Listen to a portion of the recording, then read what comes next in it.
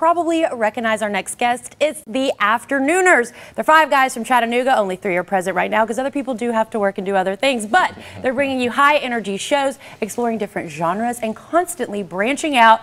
Love that. We have three of the five. We've got Bryce, Blake, and Brian. How are you guys? We're doing great. Doing Super awesome. happy to be here. So Yeah. glad you're here. All right, I have to know. Friends of the show know. I, I got to know. How did you come up with the name for this band? Good question. Um, we usually say that all the other good names were taken. Yeah. So uh, no, but we were actually we were writing a song out in the afternoon. It was just a beautiful afternoon, and Yeah. somebody just put nooner on the end of it. So that's how it came about. No, Yeah. no, no special story really or anything like Yeah. that. But You need to get High yeah. Noon to sponsor. Yes. Need some We nooners. thought talked that. about that. Yeah. and, uh, important. and noon pie. We thought about that. Yeah. too. Yeah. Shout out moon pie. Shout out to Moon us Pie. And High Noon, He's thank our- you. Yeah, there you go. um, what is your favorite part about doing what you guys do?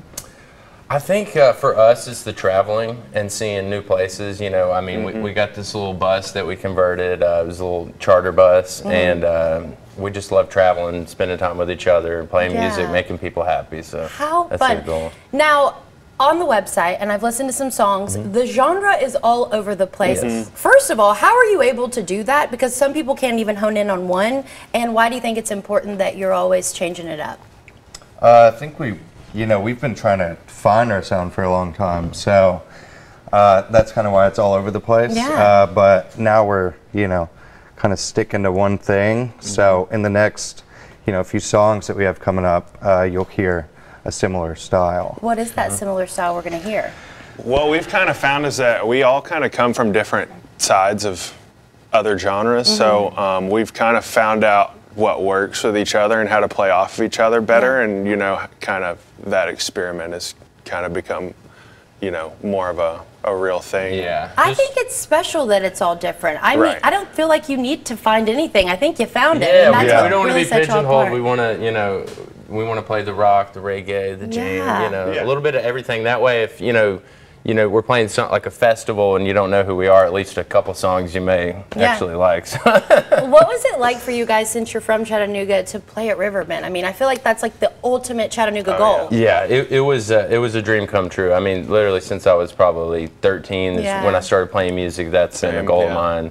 And you know, we were doing it. Uh, I think 2020 or 2021 when Yep. COVID Mhm. happened and it got canceled, Mm-hmm. and we were so bummed. So this year for it to to finally happen was a dream come true for sure. Yeah, it was great. Congratulations, y'all. it It's was huge. Now, I do need to know just the inside scoop. Did you get to hang out with other bands? How did that work? Yes, actually, uh, like our favorite band right now is Goose, Yeah. and Peter from Goose came out to our set and really liked Yeah, it. that's So awesome. that So we got to meet Les Claypool from Primus, um, uh, John Lennon's son. It was really awesome. Yeah. Uh-huh. I love that. Mm-hmm. And you guys can see them whenever you want because they are always running around and touring around. You'll be in Nashville tonight. Where will you be? uh, Third and Lindsley. Okay, I have a yeah. Mm-hmm. lot of Nashville friends watching, so Third and Lindsley, if you want to go see them, they're great.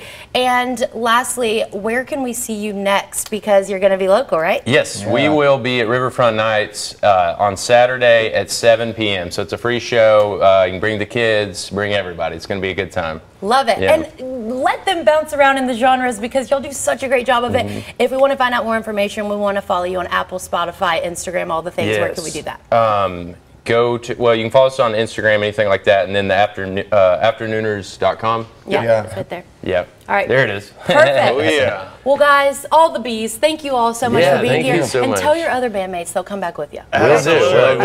Thank you. Thanks, y'all. Thanks so